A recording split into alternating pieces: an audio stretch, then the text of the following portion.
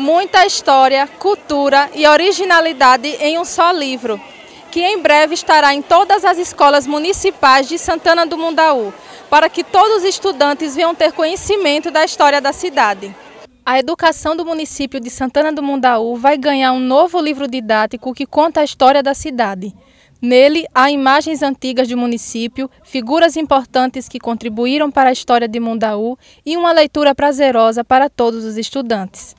A solenidade de lançamento do livro teve a presença de toda a classe estudantil da cidade, incluindo professores e autoridades políticas. O livro foi escrito por Cícero Manuel e Ana Maria Cavalcante.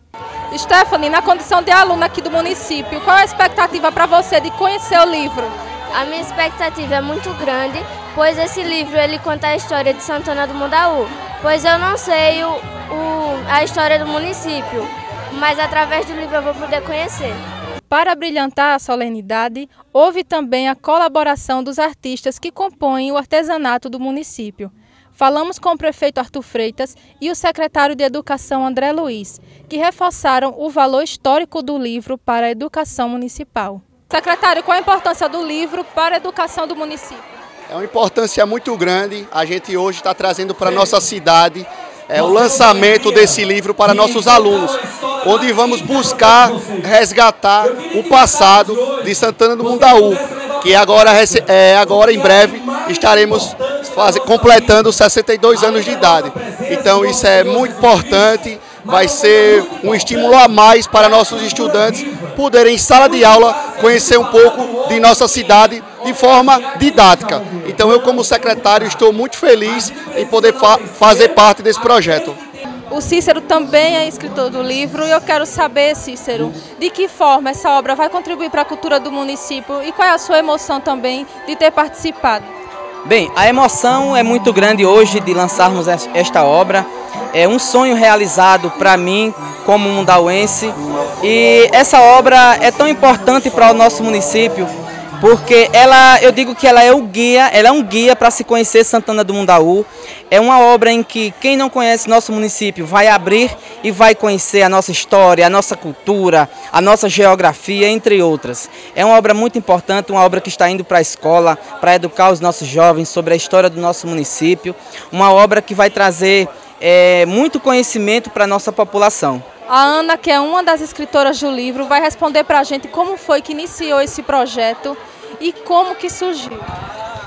Bem, o prefeito foi na minha casa com a esposa dele e foi me fazer um convite e convidou o Cícero Manuel, que é o Cícero Cordelista, para que nós escrevesse um livro sobre Santana do Mundaú. Pois o livro é um livro didático que vai para as escolas para que os alunos eles tenham conhecimento desde quando aqui pertencia à União dos Palmares, os prefeitos, os dois os prefeitos nomeados, os dois prefeitos nomeados que passaram por aqui e os outros prefeitos eleitos. Tem um ano e pouco, mais ou menos, que a gente está na batalha para hoje estar tá esse projeto aí, nossa realização e nosso sonho. Estou muito feliz.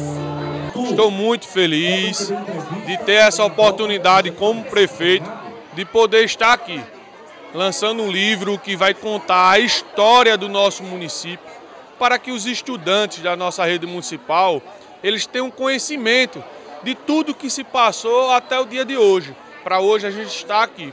Então é muito importante valorizar a cultura, o conhecimento local, para que todos os moradores, toda a nossa população tenha orgulho da nossa cidade. Então fico muito feliz com esse lançamento. Espero que isso colha bons frutos para a nossa juventude para toda a nossa rede é, de educação. E esse momento é um momento especial para todos os envolvidos, para nossa, um dos autores, a Ana, ao Cícero Emanuel, que organizaram isso, trabalharam ao longo de meses fazendo esse planejamento. Mas hoje é um momento só de comemoração e de felicidade.